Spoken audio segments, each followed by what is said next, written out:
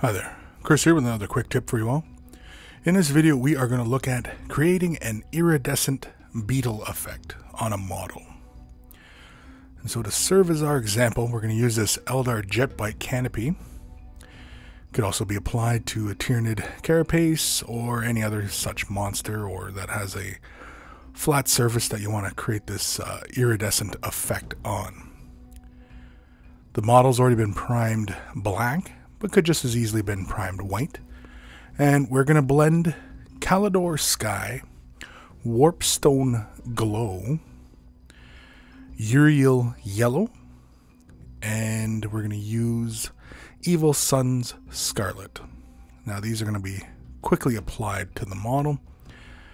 You can uh, take more care, but we're just going to quickly lay these out just so that we can see the effect right away. And as you can see, we're just quickly layering on some of the blue. A little bit of medium will help with the flow of the paint. And then very quickly here, we're using a two brush method and we're just going to quickly blend the green down into the blue. And essentially we're going to create a sort of gradient going from blue up to red. It'll have a slight rainbow effect, but often if you look at iridescent beetles, they have the really kind of a rainbow effect on the model. Now, this is really essentially a way of uh, imitating the appearance of that iridescent kind of effect. There are paints out there that will create this and will, in fact, change under lighting conditions and such. And so, really, this is just to kind of imitate the effect with paint rather than trying to go for a paint that properly does the effect.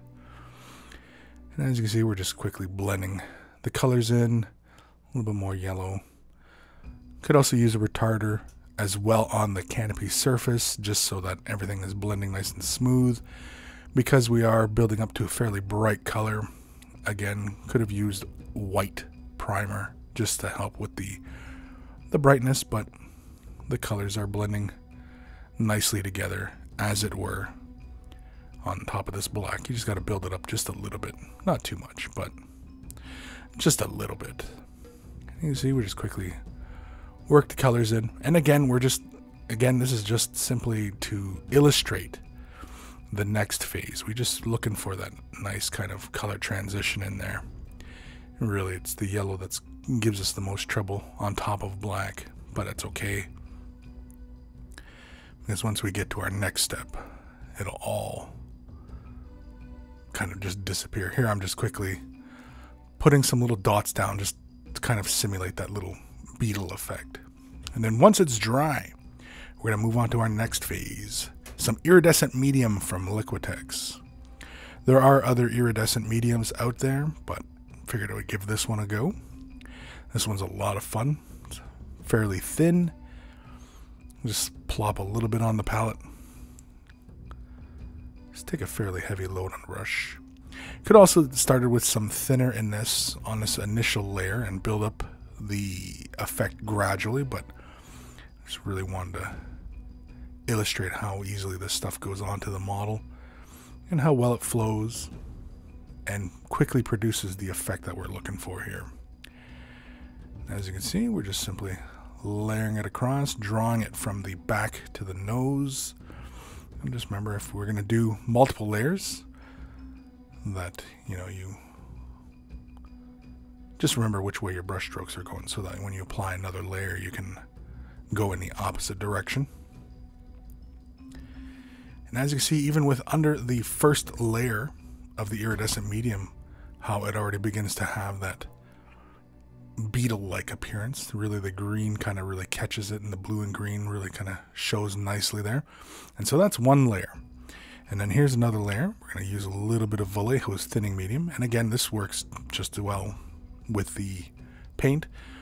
Really, most acrylic lines will work with each other.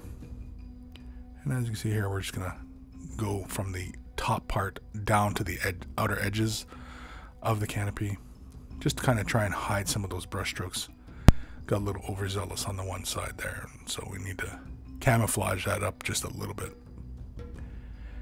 And as you see, we could just simply had started this way by applying these layers in a very thin fashion. Really kind of just build up these little, the little effect of the, uh, the medium, as it were. But that's it. That's two little layers there. Leave it to dry. And as you can see here, once it's dried, how nice it shimmers in the light. You know, it really doesn't matter that that blending wasn't terribly smooth, as it looks pretty sharp as is. It's a lot of fun. Don't be afraid to give it a try. It's easy as that.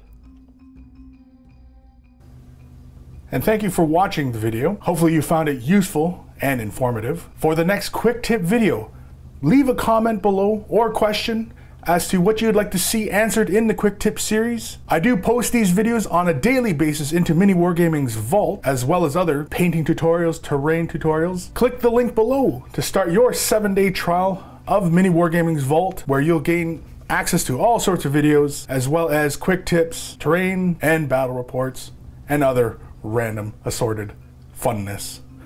And so thanks for watching. Happy Wargaming.